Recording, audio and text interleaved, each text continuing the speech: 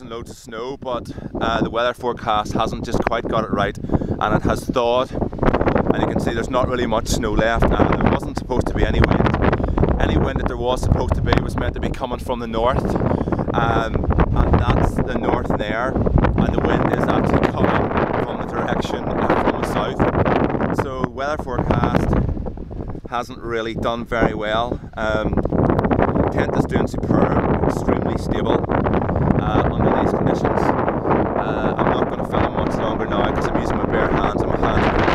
is a very, very high wind chill. Uh, in fact, it must just be enough It is very, very cold. Um, the wind is just extremely stable. Absolutely no bother to it at all. Um, very, very impressed. Uh, that'll do for now.